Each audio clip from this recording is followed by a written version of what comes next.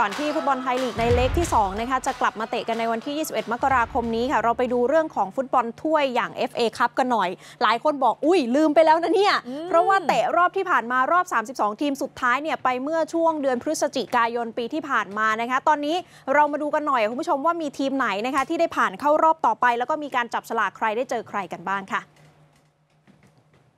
สำหรับฟุตบอลช้าง FA คัพนะคะในรอบ 32 ทีมสุดท้ายก็อย่างที่บอกไปว่าแข่งขันกันไปเมื่อวันที่ 30 พฤศจิกายน เดี๋ยวเท้าความย้อนความให้คุณผู้ชมฟังกันนิดนึงนะคะว่าในรอบ 32 ทีมเนี่ยมันมีเกมพลิกล็อกนะคะเพราะว่าพรามแบงคอกเองซึ่งเป็นทีมจากลีกรอง ดวลจุดโทษชนะหนองบัวพิชยะทีมจากไทยลีกไป 4 ประตูต่อ 2 หลังจากที่เสมอกันในเวลา 2-2 นะคะส่วน PT ประจวบเนี่ยก็พลิกล็อกเหมือนกันไปแพ้ให้กับลำพูนวอริเออร์สนะคะทีมในไทยลีกด้วยกัน 1 ประตูต่อ2 แล้วก็ลำปาง FC นะคะ อันนี้เป็นไปตามคาด เพราะว่าพวกเขาเนี่ยแพ้ให้กับ BG ปทุมยูไนเต็ดโดนถล่มไป 7 ประตูต่อหนึ่งอะค่ะ อันนี้ก็เป็นผลการแข่งขันที่น่าสนใจคร่าวๆนะคะ คราวนี้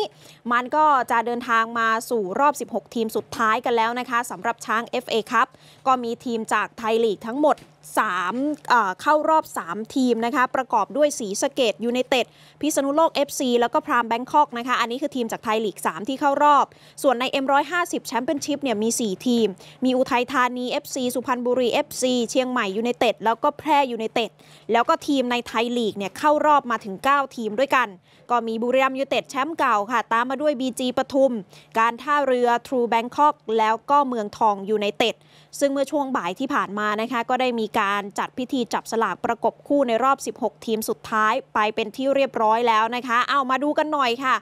รจะได้เจอใครกันบ้างสำหรับในรอบ 16 ทีมที่จะแข่งขันในวันที่ 8 กุมภาพันธ์นี้นะคะ เริ่มกันที่ลีโอเชียงรายยูไนเต็ดเลยนะคะแชมป์เก่า 3 สมัย โอ้โห คู่นี้ เดี๋ยวจะเจอกับเมืองทองยูไนเต็ดนะคะ ส่วนแพร่ยูไนเต็ดเนี่ยจะเจอกับพรามแบงค็อกนะคะทีมจากไทยลีก 3 นะคะ ที่หักด่านปากกาเซียนทีมจากไทยลีกเข้ามานี่แหละค่ะ ในขณะที่ BG ปทุมนะคะซึ่งเคยได้แชมป์ในในตอนที่พวกเขาเนี่ยใช้ชื่อว่าบางกอกกลาส FC ก็จะเจอกับลำพูนวอริเออร์สแล้วก็การท่าเรือ FC ซึ่งก็เป็นแชมป์เก่า 3 สมัย จะเจอกับเชียงใหม่ยูไนเต็ดโปลิสเทโรจะพบกับศรีสะเกษยูไนเต็ดแล้วก็อุทัยธานีนะคะ เจองานหนักทีเดียวในรอบ 16 ทีมค่ะ เพราะว่าจะพบกับบุรีรัมย์ยูไนเต็ดแชมป์เก่า แล้วก็ที่สำคัญบุรีรัมย์เขาเป็นแชมป์รายการนี้มากที่สุดถึง 5 สมัยด้วยกัน